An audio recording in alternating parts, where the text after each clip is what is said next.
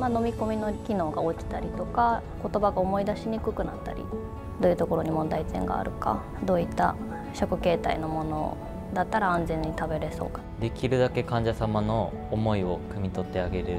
自分の体と頭とおしゃべりを使ってゼロの距離で関わられる。リハビリの時間をこう大事にしてもらってあの患者さんをみんなでサポートしていく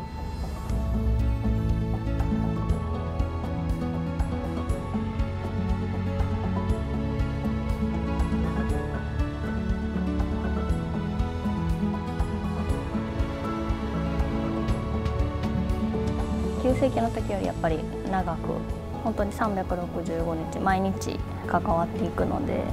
回復期の方が患者様の良くなる過程を見ることができるので。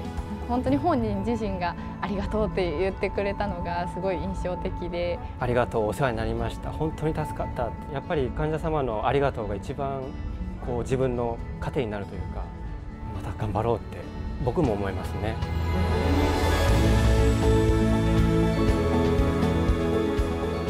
医療職でこんなまじまじと実感できることってなんか少ないのかなって。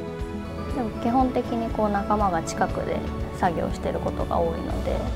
教えてもらうっていうだけじゃなくて一緒に先輩と考えるっていうことが。